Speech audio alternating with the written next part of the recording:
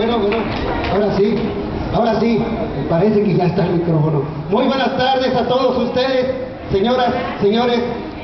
Veo que la están pasando bastante bien, qué bueno, a eso vinieron y espero que de veras, de veras se hayan divertido, bonito, bonito como se esperaba aquí en el Centro Cultural José María Morelos Pipamón.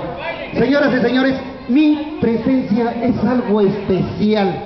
Yo no soy cantante, yo este, soy escritor de aquí de Catepec, he, pu- he publicado ya 10 libros, pero les voy a interpretar dos composiciones, espero que les guste. Y si ustedes me responden con aplausos, yo voy a musicalizar estas dos eh, interpretaciones. Pero antes que nada, me gustaría, yo creo que algunas personas ya de aquí, eh, ustedes ya me conocen, soy escritor, he publicado 10 libros, y tengo cuentos de aquí de Catepec, lo estoy utilizando como publicidad, ¿verdad? Pero se vale.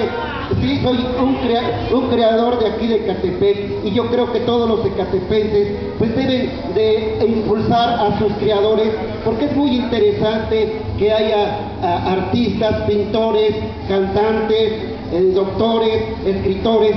Y miren, aquí tienen, les voy a mostrar mi, mi libro número 9 este libro contiene seis cuentos y hay uno de ellos que está acaparando el interés de los ecatepenses. El cuento se titula Los niños del puente de Fierro, haciendo referencia al puente que se encuentra aquí en la avenida Primero de Mayo y la vía Morelos. Este puente tiene mitos, leyendas y anécdotas de su construcción. Se construyó entre 1940 y 41. Al odio,